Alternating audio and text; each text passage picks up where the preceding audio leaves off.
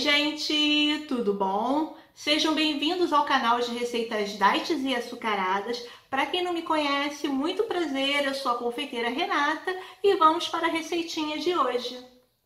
Então, pessoal, hoje eu vou estar fazendo o tender da marca Aurora de uma maneira bem prática. Então, já meio que já abri aqui a embalagem, olha, para adiantar. Só vou acabar de abrir aqui com vocês.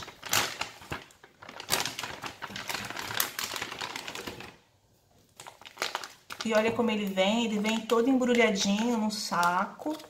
Eu vou cortar o saco agora aqui.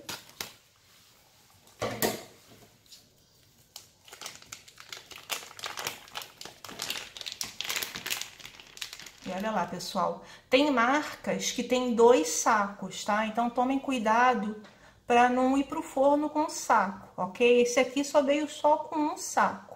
Mas fiquem de olho, tá? Porque ele, o outro vem bem grudadinho. Então, vou passar ele para uma forma untadinha com azeite.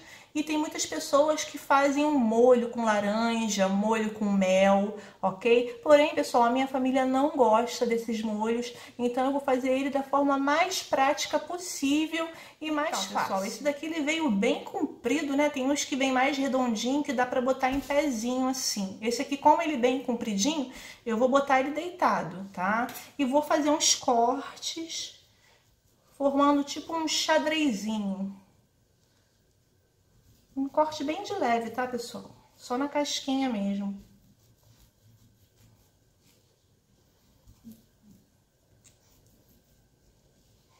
E agora, assim, ao contrário.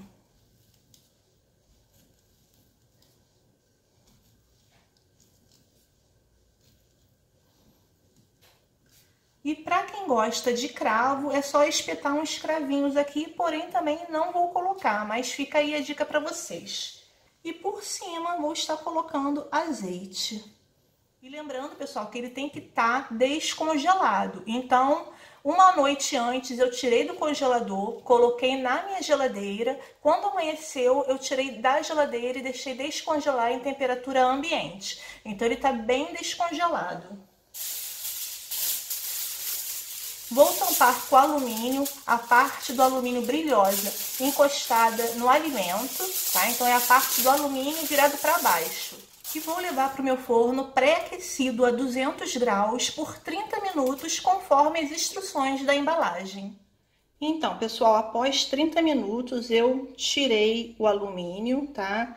E vou colocando mais um pouquinho, olha, de azeite para deixar ele bem molhadinho e vou levar para o forno novamente sem o alumínio, tá? Para que ele dore mais um pouquinho, aproximadamente 10 minutos. E olha como ficou o nosso tender. Fiquem com Deus, boas festas e até os próximos vídeos.